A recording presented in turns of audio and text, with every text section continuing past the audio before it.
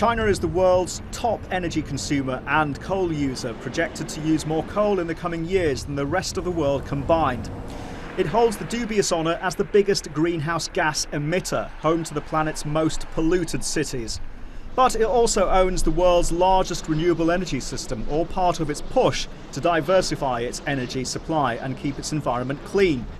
We call it three E's economic growth, energy security, and environment. Three E's must be balanced, but each country has slightly different priority, right?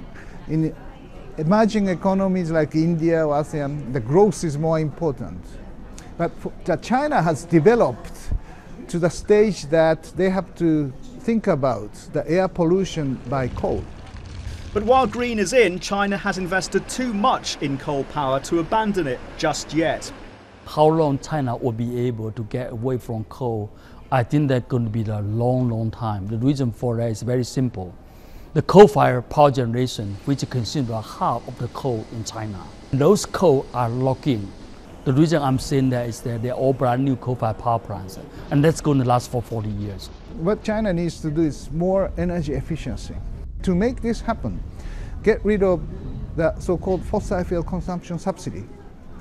Don't help the uh, public spending or wasting the energy sources by setting the price lower than the global price. This is very tricky.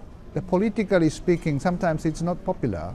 So it's very difficult to do, but that is the best way to make energy efficiency happen.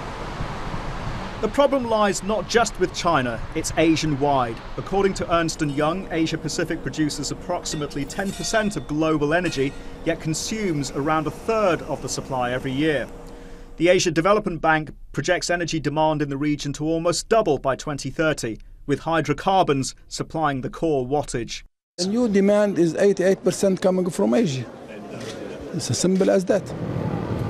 But Asia hopes diversifying its energy mix will go some ways to making supply more secure. Gas will be a key component. The International Energy Agency expects China's gas demand to double over the next five years.